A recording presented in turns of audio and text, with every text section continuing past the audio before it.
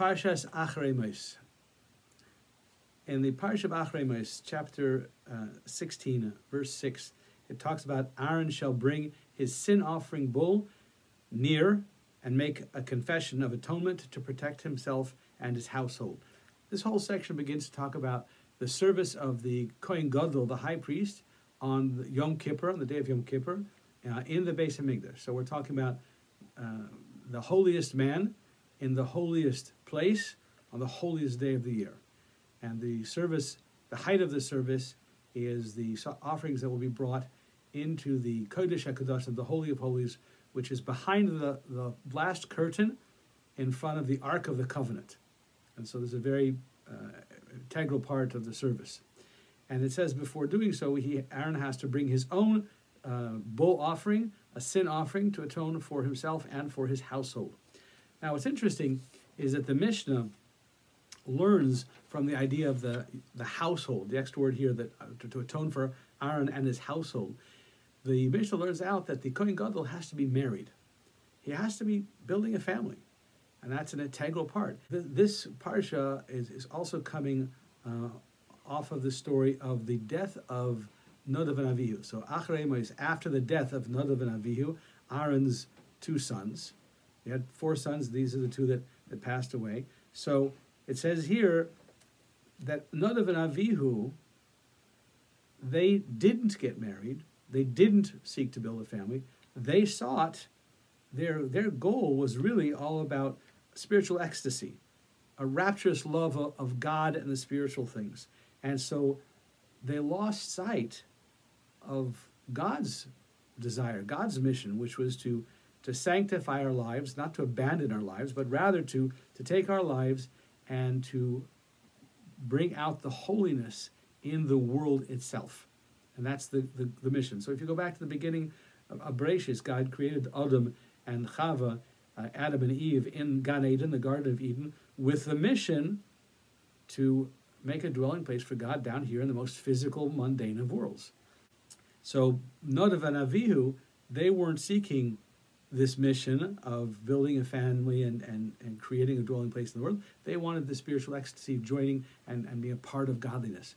Uh, if you ever look at a, uh, a, a, candle on a, uh, with its wick and the flame there, if you bring a, a torch nearby, not ne- right into it, but close to it, the flame will jump from the wick and join the greater power of the of the, the torch itself. And so that's a tendency. We will all want to be a part of something much bigger than ourselves, something much greater than ourselves. We want to be a part of that. And sometimes at the, the sacrifice of ourselves or the loss of our own, you know, desires and things, we let go of those things because of the bigger idea. And that's a great thing. That's a very powerful thing. Um, and it's a natural thing, is to want to be a part of a much bigger, greater whole. But at the same time, we have to be aware of what the mission is.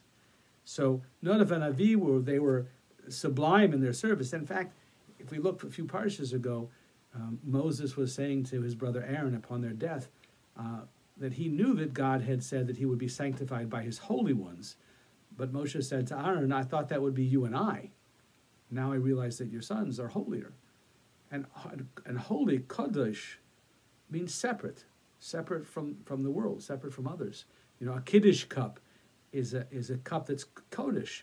It's separate. It's not used for, for water and soda and, and drinking. It's used for making kiddush, or sanctifying the day. So kadosh means to be a separate thing. And that's a great thing. The idea to, to, to be attracted to godliness in the spiritual world, that's a very important thing. But one has to remember the mission. Come back down, from the spiritual high and all the things that come with that, the benefits that come with that, the excitement that comes with that, the energy that comes with that. Use that, come back down to the physical world and use all that energy and that excitement and that ecstasy to do something constructive down in the physical world. In Hasidus, we call this ratzo v'shov. There's this desire, this, this clinging to the divine, but now come back. Come back and, and do the work down here in in the physical world. So the holy of holy holiest man is going to the holiest place in the holiest day, and and the goal to go into that holy place, and there'll be this this absolutely sublime religious fervor and, and, and, and ecstasy, and that's a great thing. But don't stop there. Come back. And that's why we see that it's so critical that the Kohen Gadol be married. Because the intention is that he should be grounded in what the real mission is, the purpose of all of this is, and to be able to go into the spiritual, have the spiritual high, and then use that to come back down and, and create a better world for, for all of us. And so it is the idea that uh, you know we want to imbue our families with the conviction that an increase in spiritual wealth of spiritual experience is a great thing. It's important to have time for prayer, a time for Torah study, um, and that that will not take away from our financial success and our worldly success. In fact, quite the opposite. That will empower the success of our our, our, our physical missions here in the physical world because we will be powered by the energy of that spiritual excitement.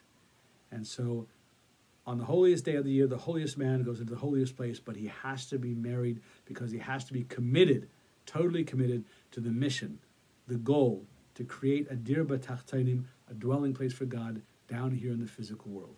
Have a great Shabbos.